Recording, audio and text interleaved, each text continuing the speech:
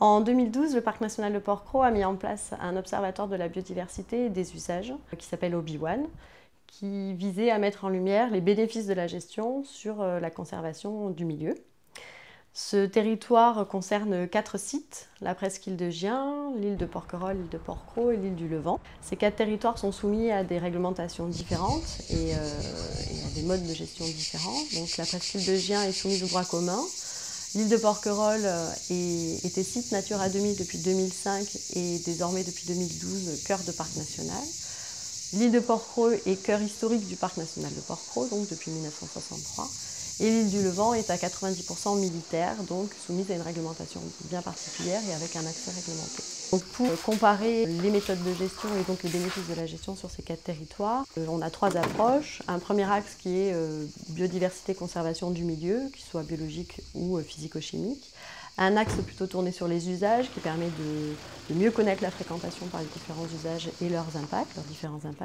Et enfin, le troisième volet, c'est l'aspect gestion, donc l'évaluation des mesures de gestion sur ces différents territoires.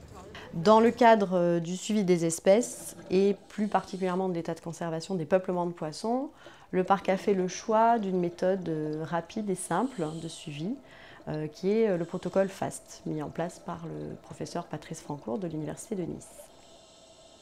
L'idée, c'était d'avoir une méthode qui permettait très rapidement ou relativement rapidement d'avoir des renseignements sur l'état des populations de poissons.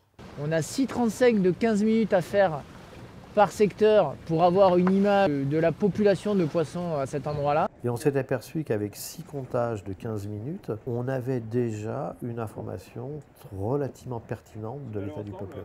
Euh, il y a 23 espèces seulement qui sont prises en compte, mais des espèces qui sont euh, sélectionnées de façon très précise, très rigoureuse la, grande difficulté a été de sélectionner ces espèces. On est sur une tranche de profondeur qui correspond à les premiers mètres, donc on est à peu près entre 5 et 20 mètres de profondeur, et c'est aussi l'onde dans lequel on a l'essentiel des perturbations anthropiques. Tout se fait à la vue euh, et à la, recherche, puisqu'il y a des espèces, euh, bah, il faut les chercher, comme les murènes, les chapons, euh, il va falloir regarder un peu sous les rochers, et suivant les espèces qu'on cherche, il faut se déplacer du fond à la surface. Si vous cherchez par exemple des mulets, vous allez plus les chercher sur la, surface, comme le, loup. Euh, si vous cherchez ben, des chapons ou des murènes, vous allez plus les chercher dans des, sites euh, rocailleux. Et si vous cherchez euh, du sparaillon ou de la sobe, vous allez plus les chercher sur l'herbier de Posidonie.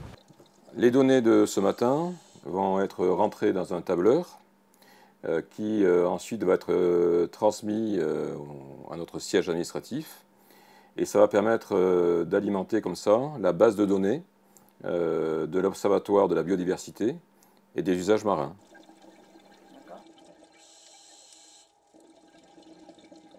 Bah, déjà on va rentrer euh, sar commun, noire, voilà. Ensuite j'ai de la SOP, donc salpa, sarpa salpa ici. Donc là ce matin on a fait la cinquième et la sixième plongée sur, euh, sur ce site de, la galère. Les indices euh, moyens et cumulés euh, nous montrent en fait qu'on se place dans le groupe des peuplements de poissons en très bon état écologique. Voilà, donc on, a comme ça bonne, une très bonne idée de ce qui se passe sur ce site.